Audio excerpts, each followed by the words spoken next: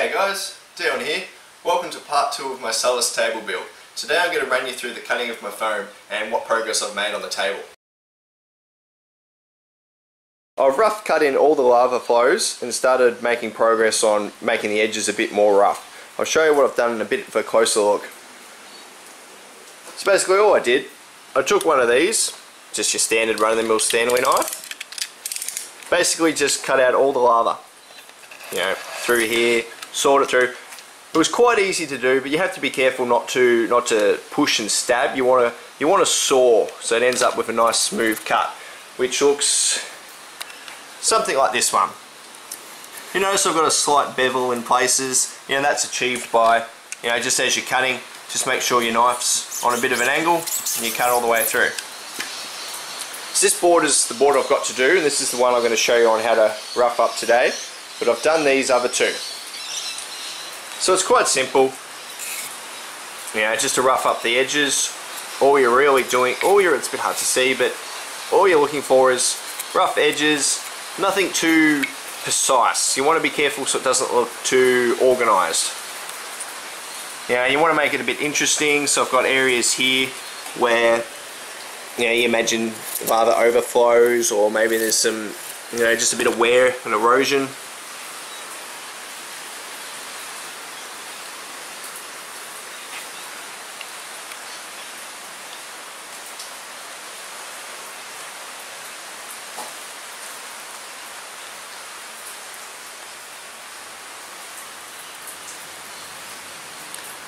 So I'll give you a couple of pointers here with making sure things don't seem too too much like shapes or too much like you planned it. So previously these bits here used to be three groups. They just look a bit like like this which kind of looks a bit like one of the scream masks. So you know I chopped up another piece, chopped up this piece, break them up a bit. Now I've got four bits. You can arrange them however you want. Right, this is how I achieve the rough jagged look. So something to bear in mind is it's always easy to add more cuts. It's a lot harder to take some back. So all you really want to do, it's quite simple. Saw in there, saw in there, flick it out. If you want to keep this varied, you, know, you pick up you pick up different techniques as you go along.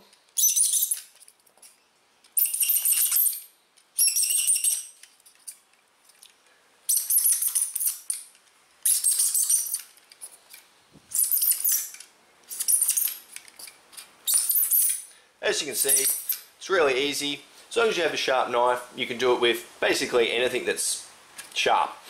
Uh, you might see a lot of people with uh, heated electric knives, which makes it a lot easier to cut through, or hot wire cutters. You can pick them up relatively cheap, but unless you plan on making a lot of terrain, this knife here costs a couple of dollars. Blades are replaceable. Uh, I think this is about my third blade on this job, just because I like to keep it nice and sharp. If you're not too sharp, it starts making a bit, you know, as soon as it starts screeching too much as you cut through, you know, it's not cutting sharp enough.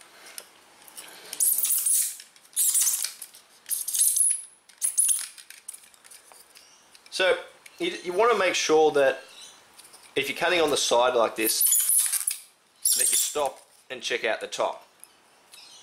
As long as it doesn't look too too uh, even, then you're doing an alright job.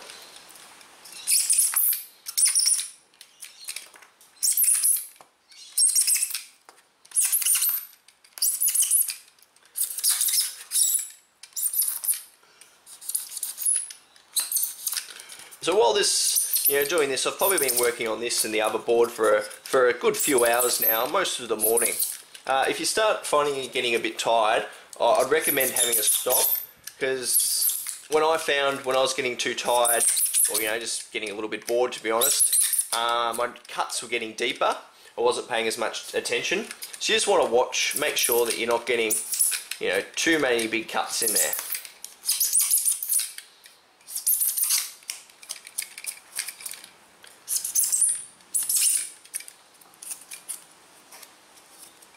Know, you vary it up a bit. You know, you can cut on an angle. You know, there's a there's a bit of thing, a bit of an angled cut there. Cut a bit in there. Yeah, as you see, that looks a bit more natural.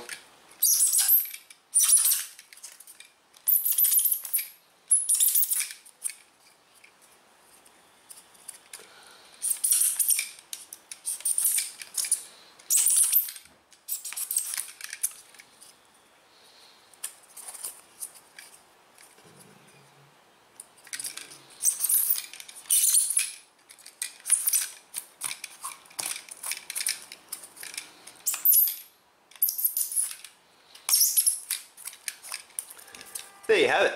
Pretty done. Pretty good.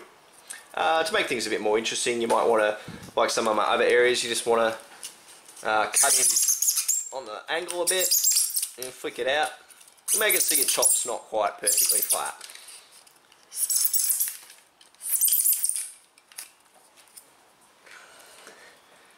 There you have it.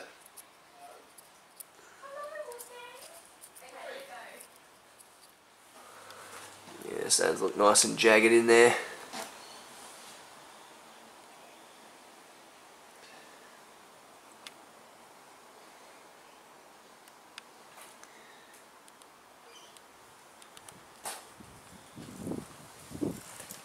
Alright guys, so there we go. That's all the cutting done. So I'm pretty pretty happy with how it looks. I think I can come back and play with it a little bit more once it's glued. But for now I'm going to show you how to glue the foam to the MDF. For that I'm going to use liquid nails. Uh, you could use PVA glue, but I'm a bit worried that PVA glue tends to shrink as it dries. Uh, and if you have one side of your board all covered in PVA glue, uh, there is the risk that your board will warp. Right guys, to glue down my foam to my MDF I'm going to be using uh, this stuff. Liquid nails. You know, you can pick it up from all uh, hardware stores, so I'll just show you how to use it and how to use the caulking gun for those that may not have used it before. So it comes in a tube like this with a cap. You basically just need to chop off your cap, pretty simple. It's quite easy to do. Apply, apply a bit of pressure and it comes straight off. And then when you buy your glue, you make sure you pick up a few of these at the hardware store. Usually they're free, and usually I pocket a few every time I go in there because they're very handy to have. So all you do is screw it on there. Then you need yourself a caulking gun. Those caulking guns look like this. Basically just want to put your cartridge in here, like so. Get it in there, put it in here, and then it's just simple as pumping it and the glue comes out the other end. Another handy trick, uh, you want to make sure that the, the glue comes out at a decent flow rate. So you just want to make sure that your nozzle, you can probably a bit hard to see here, but the nozzle's you know got some flashing on it from when it was cast. So you just want to make sure you chop that off. It's best to just to do it on a bit of an angle. There we go. And as you can see, you know you've now got a nice uh, easy angled bit to glue against. So you just have to spin around the tube Now that you're ready and all set up to glue, you just want to do one final check. Make sure that there's no loose bits, underneath it's all nice and flat. You don't really want to be accidentally gluing down your board that's not flat. So just give it one final once over. Get your fingers in there. Sure it's all nice. Oh, there you go, see? Broke off a bit there. The most challenging part, I think, I've never done this before, of the table build. You need to make sure your foam is perfectly lined up with your MDF. Which means, you know, you need the corners all nice and square. Now, I did think about making some sort of fancy contraption that I could use to square the corners, but I'm here now and I think I'm just going to wing it and glue it on. So, right, so, get your foam, get your caulking gun. Now you want to go, you want to go very easy on your caulking gun. You don't want to overdo the overdo the popping because it can come out. You know, I don't know if you can see that there, but it can flow quite quickly. So you just want to do it nice and easy, and you want to have some of this stuff on hand, some paper towel. You really don't want to be getting this stuff anywhere near anything it shouldn't be because it can be hard to get off. Just want to make sure you get it in the corners and it's simple as just running it down here. You can see it's flowing nicely all the way around there.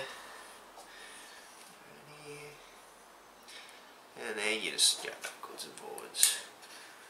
You want to let go of the trigger. You don't want to just sit there and hold it down. You're not firing a machine gun. You just want to carefully control how much you put down and where it goes. You don't need much. This stuff's quite strong and at the end of the day you're only gluing foam. Just want to make sure you get it in the corners so they're going to be the parts that come off. Alright, so once you've once you've got some glue down, you just want to take the pressure off your gun. So you push the back bit in here, pull it off. You see it fell out, but that will stop it flying out. So we take this bit and we flip it over. Now for the hard part. We want to basically set it a bit off the edges on each side. Give it a squish, let the glue flow around a bit and then drag it towards the edges just using your thumb, thumb as a guide. Squeeze it down. Don't apply too much pressure to it because it does tend to want to, you know, you push it down and you'll notice it will slide around a bit. So you just want to get it nice and even.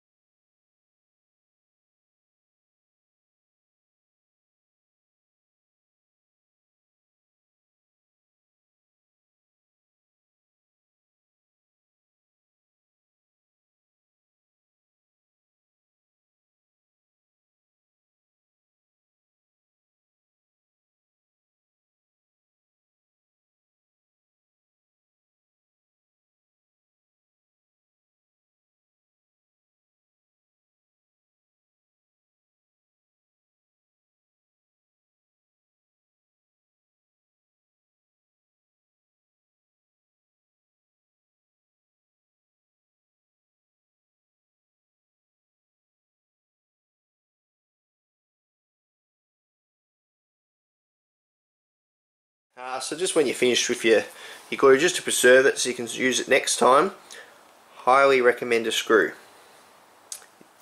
You just screw it in. Uh, some people put nails in them, but I found, uh, especially in my garage, it gets a bit hot. And when it's hot, the nail can just pop out and you have glue everywhere. At least with a screw, you know, you, it screws in, it gets a bit of grip, and it should, hopefully, the only amount of glue you'll lose is the bit in the nozzle around here that dries a bit. The next time you use it, you just squeeze a bit harder and it comes out. Alright guys, so I've finished all my all my gluing now. So you just want to be extra careful. Stack the last board. You want to just grab it, if you can see that in the camera. You just want to grab it by your fingertips, just on the timber. Pick it up very carefully and just place it down. I like to stack them, well, I think stacking them this way is going to be the best for drying. Uh, timber side up.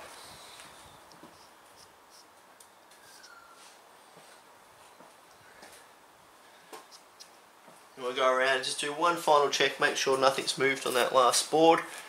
It's nice and flush, flush, not too flush here, so maybe just uh, push this one in a little bit.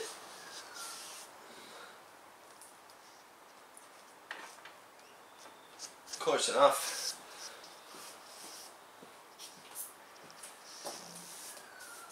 Alright. Then it's just a case stacking some weights on the top, making sure you get the corners weighed down appropriately. There you go guys, uh, I've cut the foam, I've glued it to the MDF and it's all just sitting here nicely. Uh, I'll leave it overnight, let that glue dry. I probably won't get around to doing any more progress tomorrow because I've got a few other things to do. So it looks like my next installment will be covering it in PVA glue, covering it in sand and making the lava. Maybe getting to painting depending how I go.